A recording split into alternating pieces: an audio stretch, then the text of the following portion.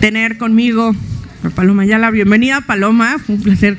Y Paloma viene de parte de InMujeres para que hablemos de esta charla que se llama No estás sola. Y me gustaría empezar eh, preguntándole a Paloma cuáles son los tipos de violencia que sufrimos las mujeres, o las más comunes que sufrimos las mujeres en este país. Bienvenida, Paloma, a esta charla. Marina, muchas gracias. Buenas tardes a todas. Gracias. Gracias, gracias. Y, les agradecemos mucho de parte del Instituto Nacional de las Mujeres que estemos acá convocadas. En realidad tener este tipo de conversaciones nos resulta de demasiada importancia porque se trata de difundir un fenómeno que por demás está normalizado y que de pronto necesitamos entrar en conversaciones muy profundas para poder empezar a desentrañarlo. Tipos de violencia que vivimos las mujeres, las más comunes la agresión física. Según la encuesta nacional de la dinámica de las relaciones en los hogares, del 2016, que está a punto de salir la, nueva edición de esta encuesta. El próximo año ya vamos a tener una nueva, una nueva encuesta, una nueva Endire. Desde el 2016 se ha venido renovando un poco la medición y no ha cambiado la estadística que nos dice que de cada 10 mujeres, 6 ha sufrido algún tipo de violencia. ¿Cuáles son las violencias más comunes? La violencia física, la violencia sexual, la violencia patrimonial, la violencia económica y la violencia psicológica o emocional. Y la verdad es que también hemos hecho un esfuerzo en el país por empezar a hacer definiciones sobre otras formas de violencia que están todavía más invisibilizadas, como la violencia obstétrica, que es esta violencia que se sufre en un, en un ámbito institucional, en un ámbito médico, y que tiene que ver con el proceso de subordinación de una mujer paciente que está siendo violentada en su cuerpo y en su integridad por un médico hombre. Es una violencia bien común, yo creo que más de una aquí sentada podrá decir que la ha vivido, y la violencia simbólica, que es esta que, reproduce ciertos estereotipos y que genera burlas, que genera degradaciones en los espacios simbólicos, que eh, pueden ser los medios de comunicación, los medios impresos, los medios escritos, o aquel, aquellos tipos de eventos como los concursos de belleza, donde se hacen procesos de comparación sobre el aspecto físico de las mujeres. Son las formas más invisibles de la violencia, la violencia obstétrica, la violencia simbólica o mediática, pero vamos viendo que poco a poco se hace mayor conciencia sobre otro tipo de violencias que sufrimos las mujeres, como la violencia política, la violencia que tenemos en la calle por nuestra participación ciudadana y bueno, empezamos a cobrar conciencia sobre las formas de violencia más cotidianas, que es la violencia física y la violencia sexual, que aunque no pareciera, en México 8 de cada 10 niñas llegó a tener algún tipo de violencia sexual durante su infancia. Y esto sucede también en ámbitos familiares, en ámbitos domésticos, donde tendemos a invisibilizar o a encubrir las violencias que se generan desde la infancia contra las niñas. Por cierto que, perdón, se me olvidó decirles que terminando esta charla, les vamos a regalar eh, un libro de la colección 21 para el 21 y eh, dentro del libro va a venir un violentómetro que nos regala eh, en Mujeres para que todo mundo eh, se lo lleve. Creo que es eh, imprescindible que tengamos una idea. hay una, hay una mm, estadística que a mí me dio mucho miedo, que decía de 10 mujeres violentadas en, en, todo el sentido, en todo, en todo tipo de grados, digamos, de violencia, solo cuatro lo contaban no solo el grado, los grados más, más fuertes y más agresivos, sino hasta los simples empujones, los, insultos, no simples, perdón, pero bueno, las cosas más eh, comunes, exacto, no simples, no comunes, lo contaban.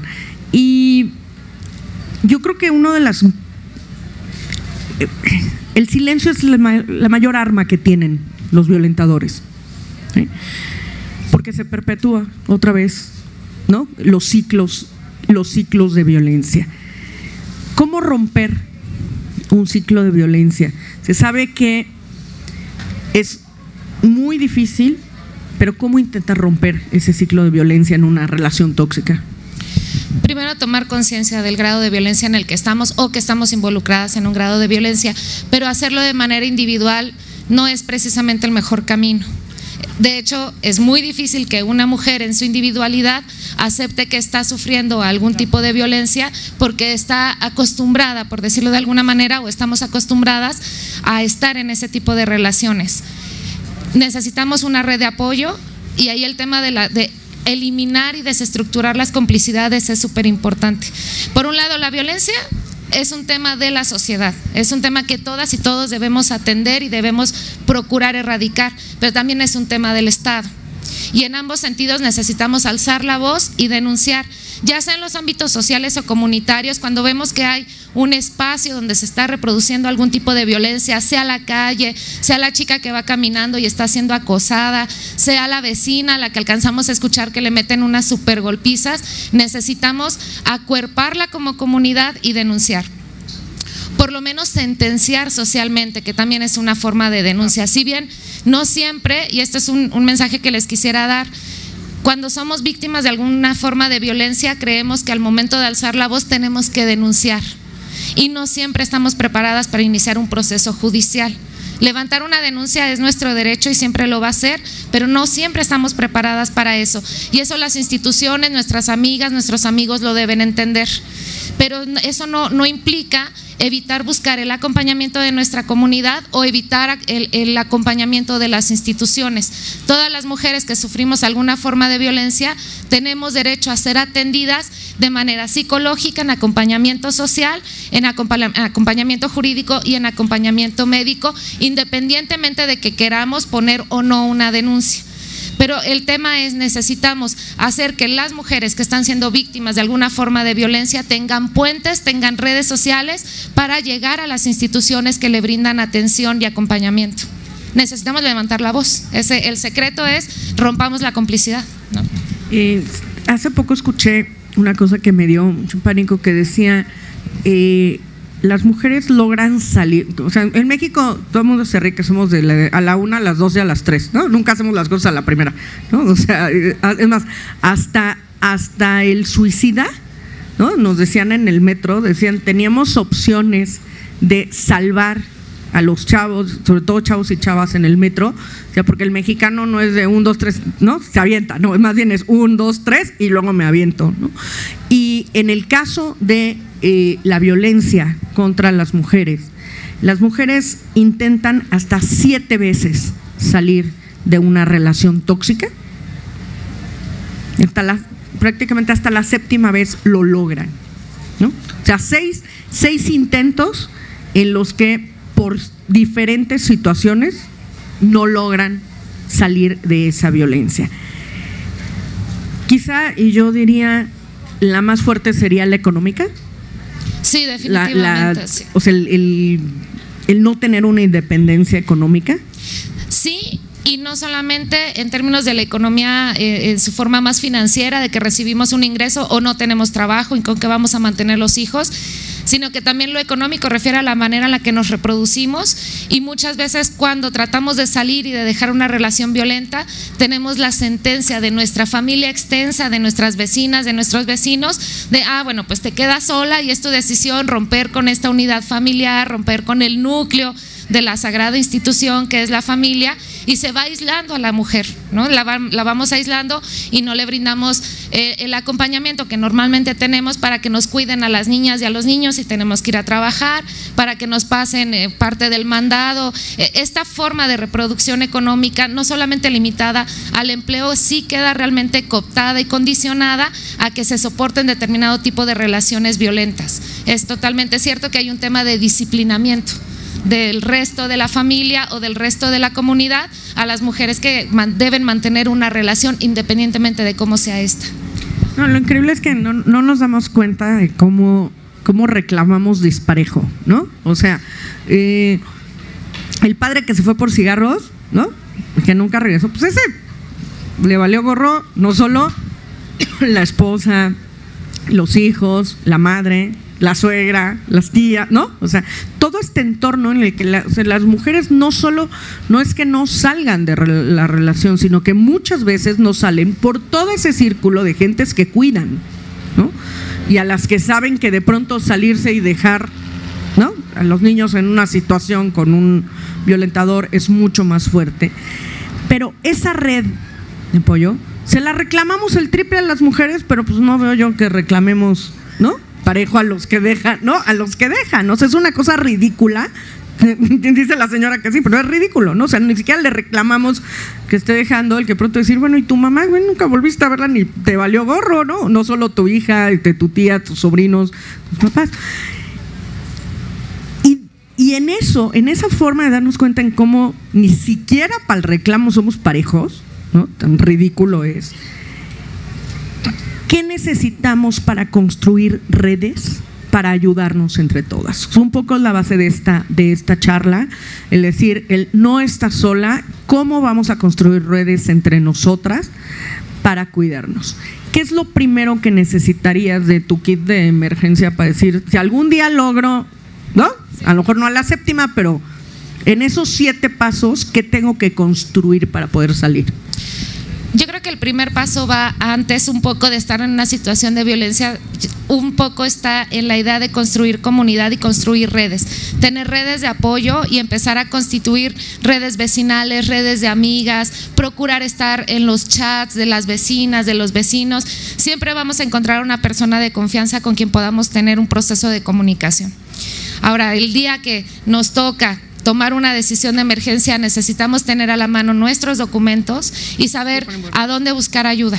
Tener una reservita de dinero es súper importante, un medio de comunicación y una persona de apoyo con la que podamos de inmediato establecer eh, este, eso, ¿no? Establecer comunicación y esta persona necesariamente debe estar enterada por lo menos de que si yo me moví de mi casa, de una manera no habitual, es porque está pasando algo raro, ¿no? Y que pueda estar al pendiente de nuestros procesos. Segundo paso, creerles a nuestras amigas, creerles a nuestras vecinas, creerles a nuestras hermanas, que si nos están diciendo me siento violentada, me siento rara, el vecino me mira raro, pues no es que andemos de cuscas o de locas, no, evitar el juicio y tratar de creerles a las mujeres. De aquí de aquí 10 que estamos aquí, 6 ya sufrimos alguna forma de violencia necesaria. Yo, diría que, más. Nada más, Nada más, nada más, a ver, nada más para que vean lo ridículo. ¿Quién no, no, quién no ha sido manoseada en el transporte público? ¿Quién sí? ¿Ok? O sea, ya, ya con eso, ya digo, del 6 al 10, es aseguro que la aplicamos todas, ¿no? Claro, o sea, sí, claro, o sea, el, problema, y, y acaba de decir una cosa, Paloma, súper importante, que es el contar las cosas, o sea, hasta, hasta si llegamos a una denuncia, el tener la evidencia, el de pronto tener un aviso, haber mandado un mensaje. O sea, parece una tontería, pero necesitamos comunicar esa violencia, por más mínima que sea, y que quede constancia escrita, física, foto, lo que se les antoje, de eso que sucedió. ¿sí? Porque desgraciadamente, este, ya mejor, pero pues nuestra palabra vale muy poco y necesitamos evidencias. Cada vez vale más, ¿no? Y cada vez nos creen, digamos, más fácil, pero y más vale tener ese tipo de evidencias. ¿no? Sí, es cierto que, que, tenemos grandes deudas de parte del Poder Judicial en todos sus niveles y expresiones es, y lo vemos en todo tipo de temáticas, pero estamos tratando de trabajar y empujar y como ciudadanía tenemos una tarea muy importante. Es bien cierto que llega una mujer a un ministerio público a levantar una denuncia porque el marido la golpeó y de inmediato Ministerio Público desestima la denuncia porque le dicen, ay, pero ¿para qué lo denuncia, señora? Al rato lo va a perdonar. ¿O para qué lo denuncia si no tarda en regresar a su casa? Es un pleito familiar, eso es normal, ¿no? Lo normalizan los ministerios públicos. Da gracias que no te mataron. Eso se lo dijeron a una amiga mía en el Estado de México. Imagínense, ¿no? Dices, ¿y todavía quiere que le dé las gracias o qué? ¿No?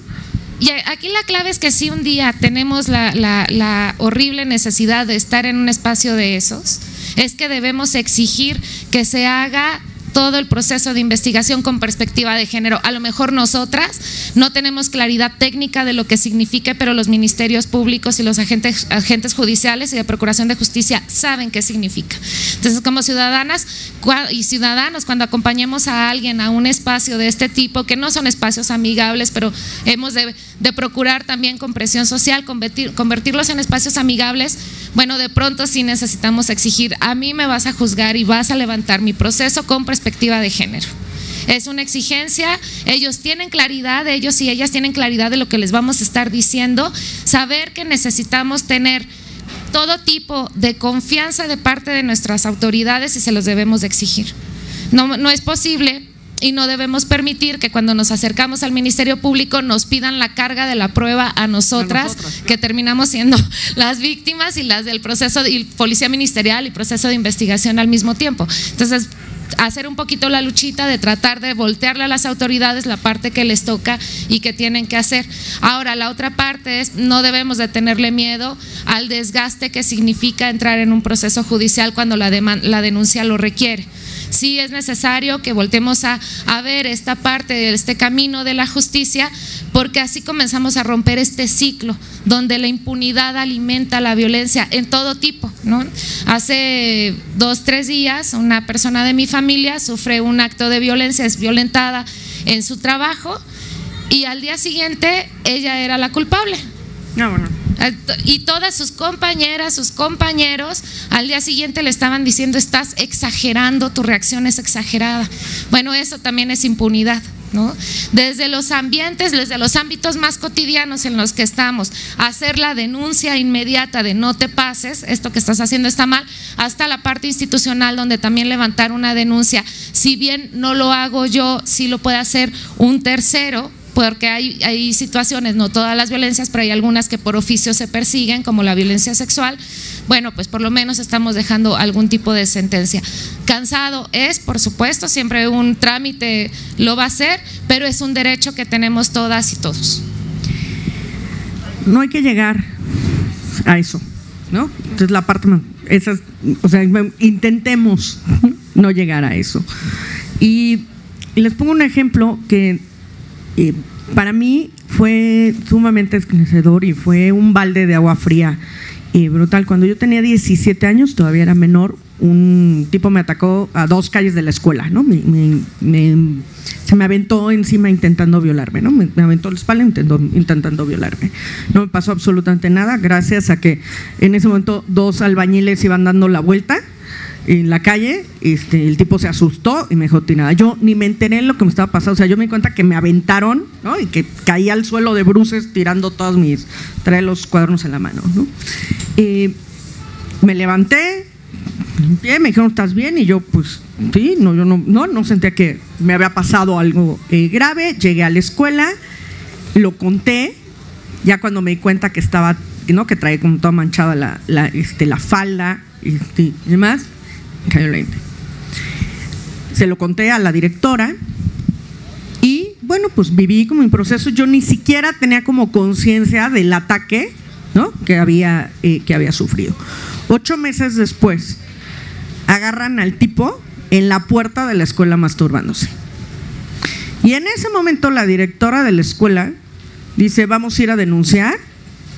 Y salen ocho compañeras. Resulta que había intentado violar ocho compañeras de la escuela y no nos habíamos enterado.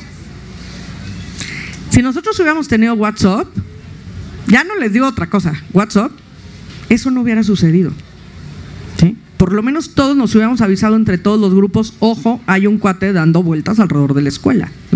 Entonces, ¿de qué sirven las redes sociales que no son tan benditas como dicen? ¿Sí? De eso, de hacer redes entre nosotros de información. Cuando se plantea ir a denunciar, yo llegué a un momento en que dije, no quiero saber si lo de mis compañeras fue antes o después, porque si resulta que fue después de lo mío y yo no denuncié, bendito sea Dios que no le pasó nada alguien. Imagínate que yo no denuncio y viola a una compañera, porque yo no fui a denunciar. Dije, no quiero ni saberlo. Y ahí fue cuando decidimos ir a, denunciar este cuate. Abramos las redes para que la conversación se vuelva en otro, se vuelva de protección hacia nosotras. Las mismas redes que de pronto son peligrosas y que de pronto si mandan la foto de la chava borracha en la fiesta este, en la secundaria, lo que reenvías no es la foto de la chava borracha. Lo que agarras es la foto del güey que te la mandó y vas y denuncias y dices, este cuate me está mandando esto. ahora resulta que es culpa de la chava, ¿no? Y no de los 200 que se mandaron el mensajito, ¿no? Que ahora ya está, ahora ya, ahora ya está penado y muchos no lo saben. ¿no? Exacto, ¿no? La ley Olimpia.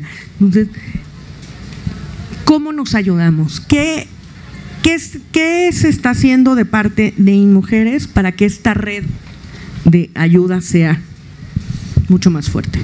Mira, lo primero que estuvimos haciendo casi iniciando la administración fue fortalecer al 911, al 911, que si bien es un número que recibe llamadas de emergencia, también es un número orientativo.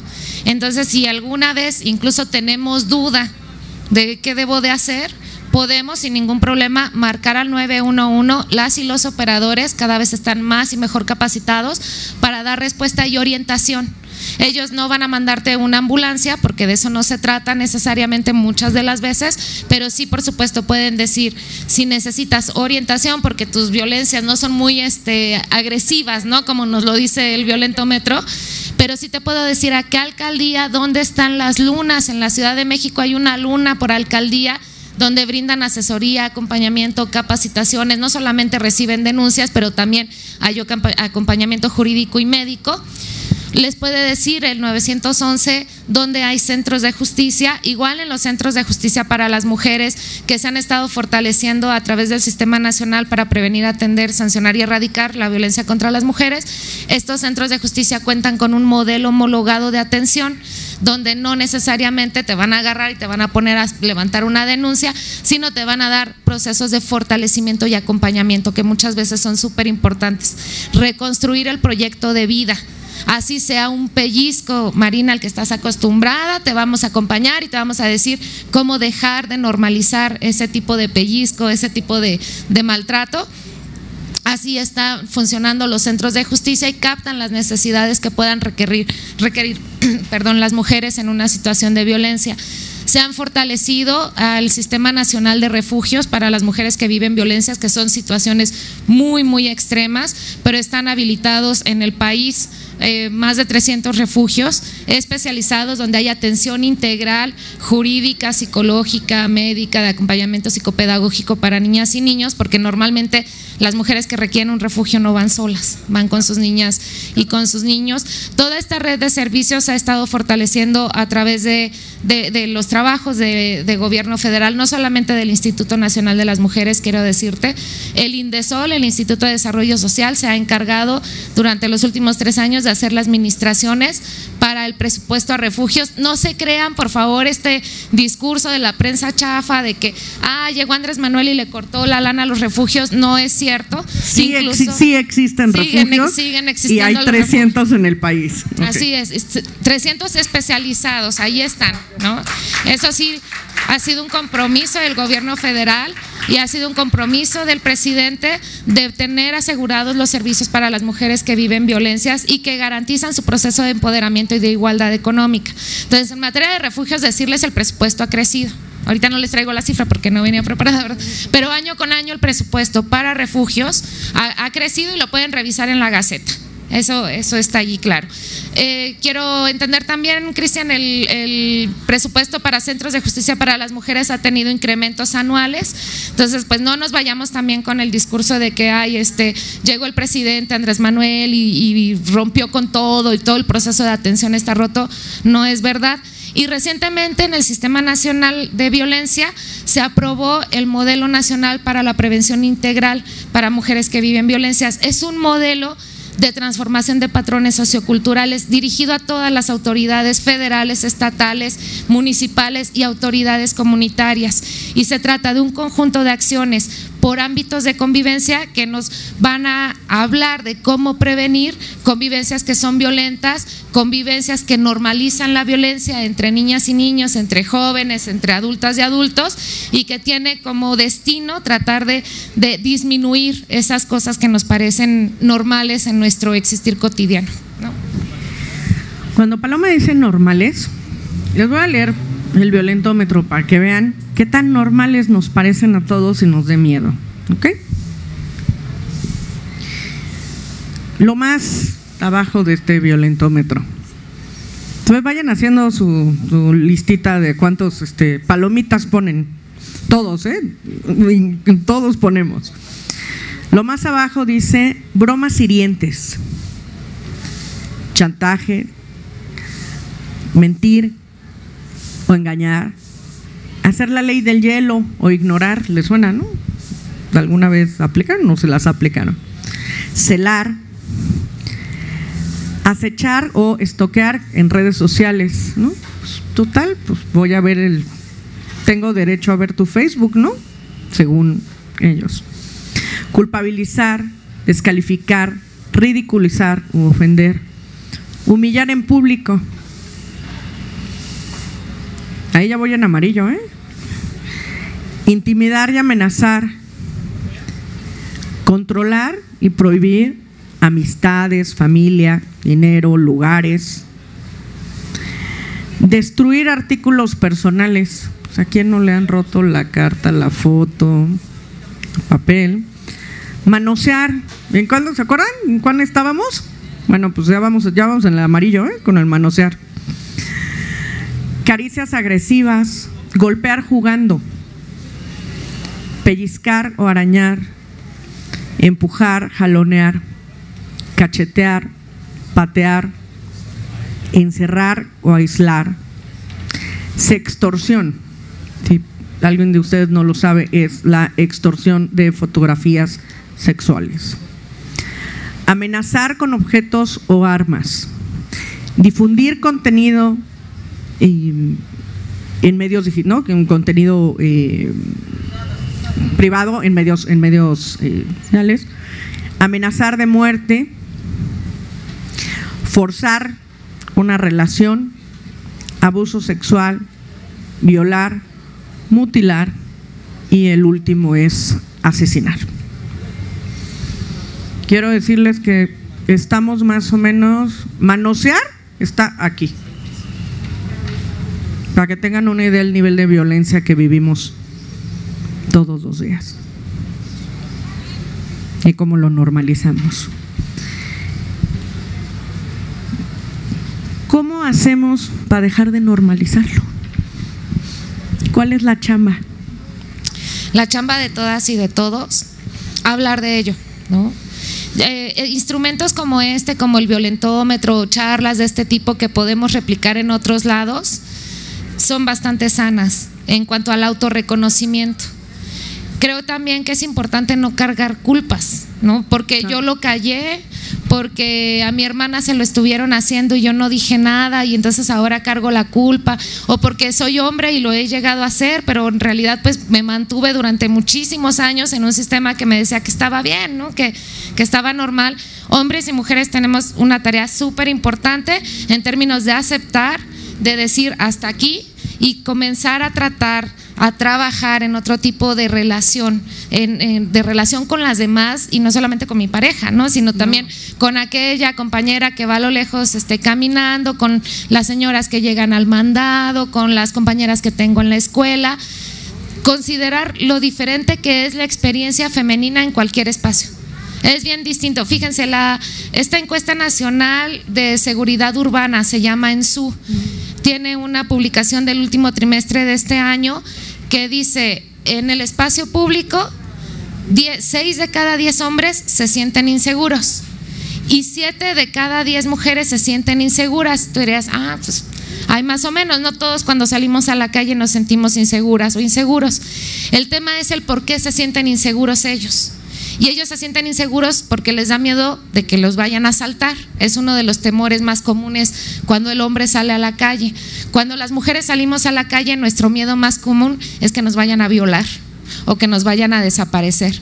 Entonces, primero, como hombre, ser consciente de que la experiencia de ser mujer es súper difícil, súper complicada, a lo mejor no la alcanzamos a comprender, pero aceptarlo es un gran paso. Después trabajar en comprenderlo sería también importante, sería bonito. Pero además tratar de trabajar esta idea de imagínense ustedes qué sentirían si cada vez que salen a la calle sienten que los van a desaparecer o que los van a violar o que los van a tocar o a que sus hijas van a terminar muertas en algún paraje. Es de los miedos más terribles con los que lidiamos las mujeres que tenemos hijas, del qué está pasando con ellas y qué puede pasar con ellas en la calle. Entonces, un poco de parte de la sociedad de hombres, de niños, ser conscientes de cómo es la experiencia eh, femenina en cualquier espacio público o en cualquier espacio privado y luego trabajar en desestructurar este tipo de convivencias donde creemos que es normal. ¿no? Eh, eh, este experiencia que te decía con mi familiar. Ella trabajaba un poco en el, es que ¿por qué me molesta? ¿Por qué me insultó? ¿Por qué me agredió si yo nunca le he hecho nada? Bueno, esto es bien común en los niños y niñas en la primaria, que el niñito llega y golpea a la niña y le empieza a maltratar y le empieza a hacer este famoso bullying, porque en realidad hay un interés de parte del niño hacia la niña, pero también hay un tema de formativo de limitación de él al acercarse a la niña, porque los hombres no deben expresar emociones. Entonces trabaja este sistema con frustración y lo inmediato para expresar la frustración es la violencia. El hecho es que cuando vemos que el niño está molestando a la niña en la escuela, lo super normalizamos. Ay, es que le gusta está bien, o sea, te pega porque él quiere contigo, entonces está bien. Y ahí empezamos a no poner límites a las convivencias. También dentro de la casa, las hermanas, los hermanos juegan a golpes. Y así de, ay, no, es, no, no jueguen así, ¿no? A lo mucho, no jueguen así. Cuando debemos realmente poner límites para que nuestras convivencias no sean necesariamente violentas. Y de ahí súbanle toda la escala. Nuestras relaciones sociales en el sistema en el que convivimos son violentas de por sí nos violentan en nuestro proceso de explotación, nos violentan en nuestros espacios de trabajo. realmente la violencia es una forma de regularnos y tenemos que visibilizarla y voltear a verla y pues irla rompiendo y denunciando poco a poco. Si te parece bien, abrimos a preguntas. ¿Les parece? Sí, bueno. Nada más en micro para que puedan para que la puedan escuchar todos en este micro, por favor. creo que vas a tener que mover un poquito más para allá el micro para que no se vicie con esta. Ah, sí, ándale, perfecto. Ahí merengues. ¿No? ¿Sí? ¿Nos dan audio de ese micro? Listo. Gracias. Ah, ya está.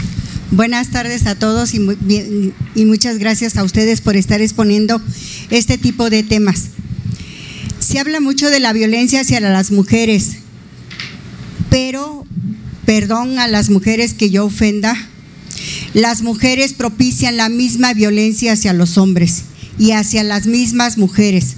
Somos como madres las responsables de la violencia que se genera de los hombres hacia las mujeres, porque desde casa empieza la violencia de la mamá hacia las hijas y la preferencia hacia los hombres. Entonces, ¿por qué decimos que los hombres son violentas si son las mismas mujeres las que violentan a los hombres? Entonces, por ejemplo, yo lo veo en las feminazis, ¿no? O sea, ¿qué tipo de, todas las que pintarrajean, las que hacen cosas y que hasta ponen letreros tan feos en la calle? Ese tipo de mujeres, digo, ¿cómo quieren, qué clase de hombres tienen a su lado? Pues hombres violentos porque ellas son violentas. O sea, una mujer violenta no puede tener un hombre tranquilo a su casa. Entonces somos las mismas mujeres. Yo lo viví, la violencia la viví con mi mamá. Yo salí de la Mixteca y por eso entiendo también lo de las escuelas rurales y todo eso. Porque yo viví con hambre, yo iba a la escuela sin nada en el estómago. Digo, y ahora las mujeres de hoy tienen la oportunidad de darles a sus hijos, de, no de que sus hijos no caminen tanto, y sin embargo no se paran temprano a alimentar a sus hijos para que aprendan algo en la escuela. Van a la tienda y tan fácil es comprarles un frutzi, un gansito y cosas de ese tipo. Bueno, no me quiero salir del tema, tan fácil es pararse y darle frijoles y tortillas a los niños y eso es más alimento.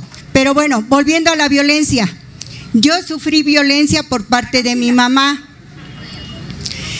pero también la tengo que admirar porque fue una guerrera, porque si no hubiera sido por ella y no nos hubiera sacado cuando yo tenía 13 años y mis hermanos eran más chicos, no me hubiera sacado de ese lugar, no estaría donde estoy. Pero ¿qué pasó? Yo hice una diferencia entre mi mamá, porque yo siempre fui contreras de mi mamá. Mi mamá decía que no se podía, que no se hacía, que, no, que al que a dos ambos sirve con uno queda mal.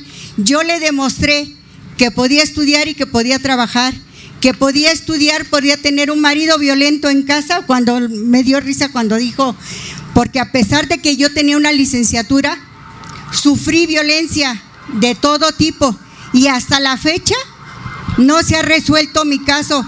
Yo tuve una jueza aquí enfrente a la 13, Margarita, no recuerdo qué nombre del juzgado 13, que le dio la preferencia a él por mordidas y hasta la fecha no se ha arreglado ese tipo de cosas y el señor ahorita trabaja ahí en el SAT.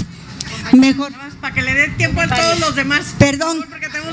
Bueno, ya no me agrando, ya no me agrando. Entonces lo que quiero decir es que nosotras como mujeres tenemos la oportunidad de cambiar la vida de nuestros hijos y que somos nosotros los que tenemos que tomar conciencia para tomar. Mi hija me admira, pero yo la puse en otro lado y con otro nivel de conciencia. Cumplí como ciudadana haciendo una ciudadana mejor, mejor que yo. Gracias. Bueno, buenas tardes a todos y le voy a decir una cosa, señorito, con el respeto que se merece. No todas las mujeres somos igual. Le voy a decir por qué. Le voy a decir por qué nunca usted. Nunca usted. ¿Para qué tienes aquí este? No, pero ese no estaba prendido. Nunca usted debe de hablar. Nunca usted debe de hablar de su propia mamá. Nunca. Porque usted lo está diciendo. Le agradezco a mi madre por lo que soy ahora y por lo que no sé cuánto. Entonces, desde el principio no tenía que haber hablado de su mamá porque usted es mujer. Y todas venimos de una mujer. Y sea la mamá como sea, es nuestra madre. Y ella nos dio la vida. Y ella nos dio la vida. Yo le voy a decir una... Bueno, yo le voy a decir una cosa. Yo me casé. Y por haber tenido niña, me zafaron la pierna. Tenía mi casa de cuatro pisos y ¿sabe qué hice? Agarré mis papeles y me salí. porque estas manos son de trabajo, señora. Y no nací con un hombre, ni con una mujer. ¿Sí? Entonces, no debemos de hablar de las mujeres porque usted es mujer. Debemos de apoyarnos y saber salir adelante. Es todo. Les pedimos que sean más, más bien preguntas para que pues, podamos avanzar. Gracias. Adelante. O sea, bienvenida. Antes de empezar mi pregunta, me gustaría como dejar en claro esto. Siempre que se habla de las feminidades y las masculinidades, se termina en un, es que nosotras como mujeres, es que nosotros como hombres. Y ok, sí se comprende, pero hay que saber entender que las violencias no van de la misma forma en cuanto a los hombres y en cuanto a las mujeres. Yéndome rápido a lo que decía la señora, la violencia es sistemática, es una violencia machista. ¿Por qué? Porque al final de cuentas el romper ese núcleo en el que el matriarcado, entre comillas, matriarcado, en donde la mujer hace lo que se dice enfrente de todos, pero detrás de la puerta del cuarto de los papás, ahí sí ya no sabemos, ¿saben? Ahora, siempre las cosas deben de recaer en nosotras. ¿Por qué nosotras tenemos que maternar a todo el mundo que conocemos? ¿Por qué nosotras tenemos que educar a todos los hombres que nos topamos?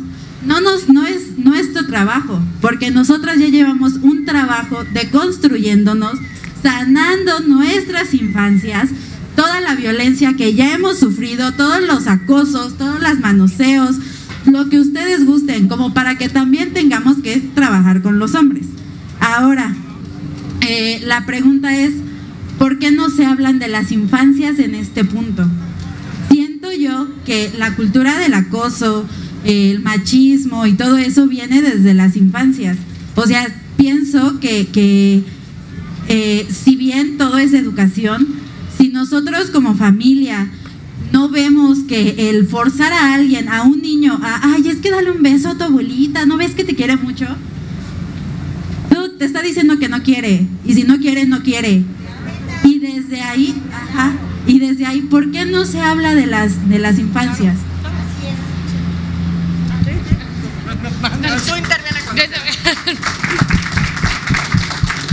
Buenas tardes. Por permitirme hablar. Esto de la violencia en todos los seres humanos. De ahí que se debe empezar eh, como seres humanos a aprender a manejar nuestra propia violencia. Mi madre, ya que descanse, en la vez que le pegué a, a mi hermana, me dice, ¿por qué le pegas a tu hermana? La mujer no se le toca ni con el pétalo de una rosa. Esa cultura prácticamente es la que se ha venido perdiendo. Le decía, ni tú juegues con ella, ni ella debe jugar contigo, porque son personas totalmente diferentes. Eso es lo que se ha perdido y es en lo que nos hemos venido extraviando como seres humanos y es lo que han venido aprovechando los traficantes de personas, y los malos gobernantes, los políticos corruptos para enfrentarnos un hombre con la mujer y la mujer con el hombre. O sea, por ahí eh, mencionaron a las muchachas que por el simple hecho de que el varón vaya caminando, lo agreden de una manera muy... Y eso es violencia también, ¿sí? Porque tanto violencia es de un hombre a la mujer como la mujer al hombre. O sea, este, debemos ir capacitando y ir retomando precisamente en dónde está y quiénes están aprovechando de esta situación. Gracias. Adelante, gracias. Nada más desinfecten. Listo. Adelante.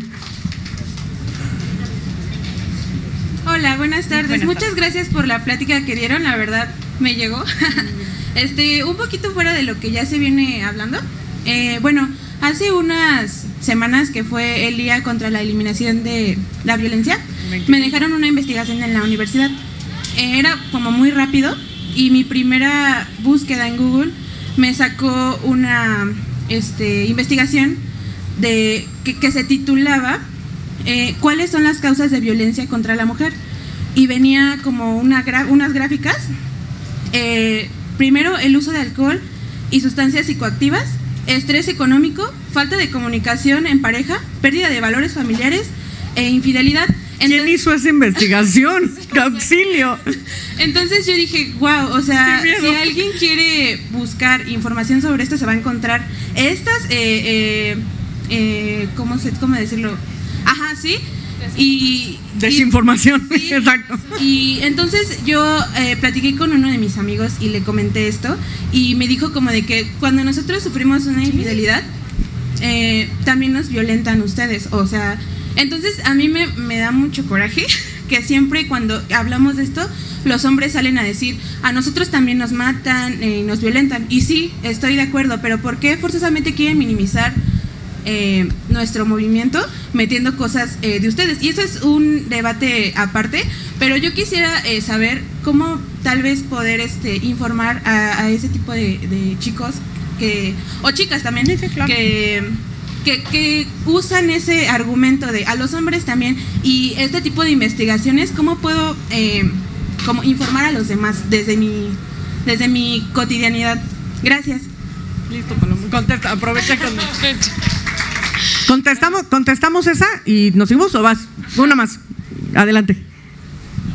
Muy buenas, muy buenas tardes.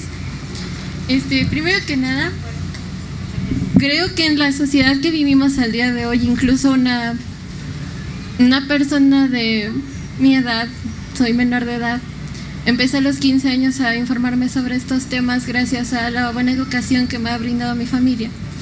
Pero hoy vengo a compartirles algo y a preguntarles algo a ustedes. ¿Ustedes creen que en realidad la violencia, la violencia viene por generaciones. Es lo que enseñan nuestros padres. Si nuestros padres no nos enseñan a tratar en realidad a los demás, a nuestros compañeros, a las personas con las que estamos aquí o en la calle, yo creo que también es violencia, es falta de educación. Más que nada la violencia se da por falta de educación. Yo viví bullying por mucho tiempo en mi vida, a tal grado de que últimamente exploté de una gran, una, algo grande que viví en mi vida, o una, una ruptura, donde esa persona abusaba de mí psicológicamente. Muchas veces nosotros los padres tenemos que acercarnos más a nuestros hijos. ¿Por qué? Porque no sabemos hoy en día qué es lo que están viviendo con las redes sociales.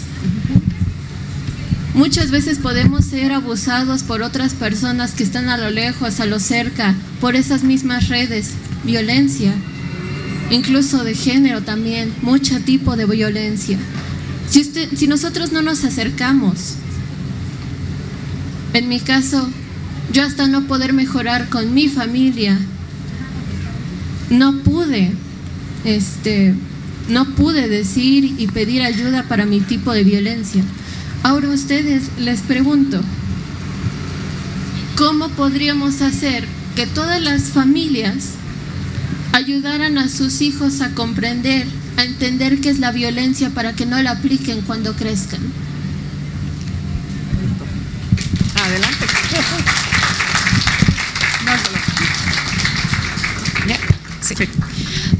La verdad es que está súper, están muy empezados sus planteamientos y yo quisiera como antes de otra cosa que caigamos en la reflexión de hablamos de violencia, hablamos de algo íntimo y personal que nos ha generado heridas, eh, heridas eh, muy profundas, o sea, es un proceso muy personalísimo que sin embargo se está reproduciendo socialmente cada vez que hacemos, normalizamos una situación, estamos hablando de la calidad y de integridad de vida emocional de una persona y no solamente de su proceso físico y psicológico, ¿no? sino de la forma en la que esta persona se va a desarrollar y los procesos que va a venir arrastrando.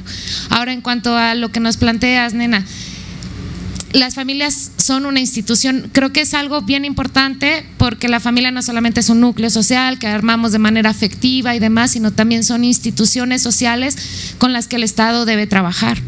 Y trabajamos a partir de diferentes procedimientos, uno es a través de las unidades de salud, en el IMSS, en el Prevenims, que muchos conocen la aplicación esta, hay un apartado de medicina familiar. No todas las familias, por supuesto, acceden a esta información, pero la aplicación sí es una aplicación de descarga libre que cualquiera puede utilizar. Y en, el, y en este apartado de violencia familiar no solamente van a encontrar herramientas para identificar violencias que se generan al interior de la familia, sino para que la familia, las niñas y los niños desarrollen ciertas habilidades para ponerle alto a las violencias. No es mucho, por supuesto, lo que te estoy diciendo, pero sí a través de los procesos institucionales estamos buscando que la Secretaría de Educación reconozca el papel fundamentalísimo que juegan las escuelas como nexo entre la familia en su ámbito íntimo y privado y su ámbito social y de socialidad que es la escuela como un espacio donde todas y todos nos formamos como sujetos. La CEP ha estado trabajando muchísimo en lo que tiene que ver con la formación de niñas y de niños, pero también de maestras y maestros como identificadores de lazos de violencia. Y ahí hay varios modelos que se desarrollan a través de la Secretaría de Educación que luego de pronto no reconocemos, pero están existentes desde hace unos tres años y que ya los vemos activando en las escuelas. Ha sido una estrategia de este gobierno reconocer a las escuelas como ámbitos de formación política fundamentales en la vida del país y que a través de las escuelas podemos llegar a las familias Realmente no va a haber otra forma de llegar a las familias si no llegamos a través de este nexo conductor, que pueden ser las escuelas o las unidades familiares de medicina familiar, que también son espacios que entran a la vida íntima de, de las familias. Entonces trabajemos por allí trabajemos en las escuelas, trabajemos en las unidades familiares y reconozcamos a las familias como instituciones públicas e instituciones sociales que juegan un papel bien súper importante.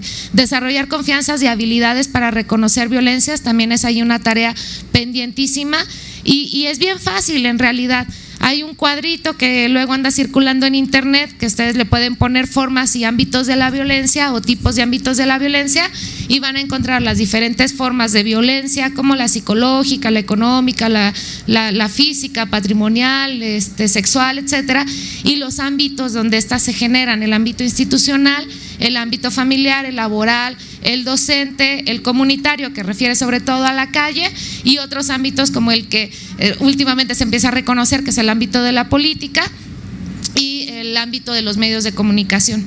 Entonces, este cuadrito, si nosotros nos ponemos a verlo, a visualizarlo, nos va a poder permitir identificar, ah, a mí me pasó esto en la escuela, es una forma de violencia y es una forma de violencia específica. Y con eso me paso al otro punto. ¿Es bien cierto que a los hombres también los matan? Sí. ¿Los hombres viven violencia sexual? Sí, sobre todo en la infancia. Y sin embargo, la violencia que sufrimos las mujeres es una forma de violencia. No es que los hombres no vivan violencia, pero no viven violencia por ser hombres. ustedes han de conocer muchos, muchos nombres que surgieron sobre todo en las manifestaciones, en los movimientos feministas recientes. Ingrid, eh, Natalia, Jessica, a ellas las mataron por ser mujeres. No, no fueron contra Mengano, Sutano y Perengano por sus atributos biológicos que condujeron a una representación social de su género. A él no lo mataron por ser hombre. Y esa, única diferencia, de a ella la violentaron por ser mujer y por eso la manosearon en la calle, a ella la golpearon, la golpeó el marido, la golpeó el novio, etcétera, por su condición de vulnerabilidad y por la forma en la que está ubicada en su estructura social porque es mujer, la forma en la que lo golpearon a él o lo asaltaron a él o lo mataron a él. Deplorables todas las formas de violencia pero importante comprender, la violencia contra las mujeres es una forma de violencia específica puntual que ocurre porque las mujeres son mujeres y porque en la sociedad en la que vivimos las mujeres viven en una condición de desigualdad y ahí está otra raíz. La, violencia contra las mujeres, la violencia de género es resultado de la vulnerabilidad y resultado de la desigualdad. No necesariamente la desigualdad económica, sino la desigualdad de papeles que jugamos las mujeres y los hombres en una sociedad. Y coincido con la compañera por allá, de sí es cierto que a las mujeres además nos toca maternar mucho, ¿no? Yo todavía soy de las viejitas, de la generación que dice, pues ni modo, ¿no? También nos toca educar machos y machas. Pero estoy totalmente consciente que es hiper legítimo y sobre todo nuevas generaciones que digan, no la chinguen, ya nos tocó eh, sanar nuestras heridas, ya nos tocó lidiar con nuestras violencias y aparte tenemos que lidiar con el machín de un lado y decirle que lo que está haciendo es una forma de violencia y es totalmente legítimo. Yo, bueno, hay un proceso de posición política y un debate amplio, porque sí está esa, están allí en debate y en, y en polémica esas dos posiciones de o, le entramos las mujeres también a explicarles cómo es este rollo, o les toca a ustedes hacer la talacha, pero a lo mejor no lo hagan, ¿no? Y ahí en ese, en ese contrapunto hay un debate en el, en el ambiente feminista, en el ambiente político feminista bastante amplio, y con eso me voy acá con, con la compañera. Hablar cualquier cosa que tenga esa, ese este, sufijo nazi, eh, no o sea, no, y reflexionémoslo, el nazismo fue algo terrible. Y fue un, una, un momento de la historia de la humanidad. Que, genocidio, que nunca debió de haber sucedido. Comparar un movimiento social cuyo núcleo duro no hemos logrado comprender y que es como todo movimiento, una cebolla y tiene un montón de capas y una de esas capas es la capa de la violencia y de un lado de morras que están bien hartas que ya están hasta la torre, que hay una forma de expresión anarquista y de destrucción y demás, y otra parte de esa ala que también está compuesta por grupos de choque que han buscado desestabilizar los procesos de diálogo político alrededor del movimiento feminista. Pero adentro hay un núcleo duro que necesitamos comprender. Como el movimiento del 68 en su momento no se comprendió porque era disruptivo y seguramente algunos papás estaban de, pues esos chavos, quién sabe qué están pidiendo, cuando era algo tan abstracto y a la vez tan sencillo como la democratización de la vida pública, como acá las chavas están exigiendo un proceso de igualdad y de alcanzar oportunidades sobre todo con una demanda muy puntual que es la oportunidad de vivir una vida libre de violencia. Así de fácil, así de sencillo y así de complejo. Pero alrededor, pues, pues sí hay un montón de cosas que no alcanzamos a ver porque es súper complejo y porque eso se ve cuando pasa la historia y cuando ya lo podemos analizar, pero no caigamos en el discurso propagandístico que reduce, pero además este, envenena el proceso de lucha de las compañeras feministas, reduciendo, no reduciéndolo, sino comparándolo con esta parte de la historia de la humanidad que fue el nazismo y el fascismo. Nos queda una última, una última intervención y eh, estoy bien, Sofía, vamos a repartir los libros de 21 con el violentómetro dentro, ¿sí? Después, o sea, terminando ahorita, porque empieza la de Laura, que ya anda por ahí. Gracias. Listo, ya llegó Laura. No, no es este, pregunta, es este, algo en cuanto ustedes dijeron de redes. Yo soy una profesional de, de, la salud y trabajé con mucha gente de niños de la calle, eh, gente de, de, muy bajos recursos económicos y entonces eh, aprendí mucho de que las redes las hicimos con ellos a través de la familia con la familia de ellos, hablamos con los papás, con los hermanos y demás. Y entonces aprendí que los papás eh, de mi época, pues ya somos viejos, pero los nuevos jóvenes que son papás deben de hablar con los hijos de todo, de todo, de todo, de todo. Si le pegaron, si les gusta un chico, de todo, de todo, tener la confianza e inspirarles que tengan confianza para con nosotros y platicar todo. Con ello es, tú enseñas a tu hijo a tener confianza en sí mismo, eh, a que tenga confianza con sus amigos y que no va a permitir que nadie lo toque. Ahora sí, como dijo un señor, que ni con el pétalo de una rosa, ni sea ni niña ni sea niño. Entonces, yo creo que la base de hacer una red empieza con la familia. Ya después es con las amigas, con los amigos, en el trabajo, en tu ambiente de, donde tú te desarrolles. Pero sí, la familia es la principal red de, Muchas gracias. A ver, yo quiero, yo quisiera terminar esto, sí, diciendo que tenemos que reconocer que la violencia, que vivimos en un, en un momento donde hay mucha violencia, pero que nada tiene que ver con la violencia de género. ¿sí? Si ustedes ven cómo son las muertes de las mujeres, ¿sí? son con saña. ¿sí? No, es, no es que le metieron un tiro y ya se acabó, no. Es que igual, como decía uno que leía una de esas, es que le metieron 64 puñaladas y decía, ¿te imaginas lo harto que debía de estar el pobrecito? ¿Sí? O sea, a esos niveles, ¿no? Entonces, nada tiene que ver, obviamente todos eh, sufrimos en México un tipo de violencia, pero, pero de eso no estamos hablando, estamos hablando de la violencia contra las mujeres por el hecho, como bien dice la compañera, de ser mujer, ¿sí? Y yo quisiera agregar una cosa nada más. Eh, por más que se dice que que bueno, que, que no, que siempre estamos eh, echándole la culpa a las mujeres, porque bueno, son las que educan, son las que... Yo creo que tenemos culpa todos, es algo que tenemos desde hace tantos siglos, ¿no? El, una forma donde la mujer tiene que ser sumisa, el hombre tiene que ser fuerte y tenemos que acabar con eso. Pero a mí hay algo que me preocupa porque yo sí estoy del lado de decir que eh, trabajos, qué, qué, programas hay para los hombres. ¿sí?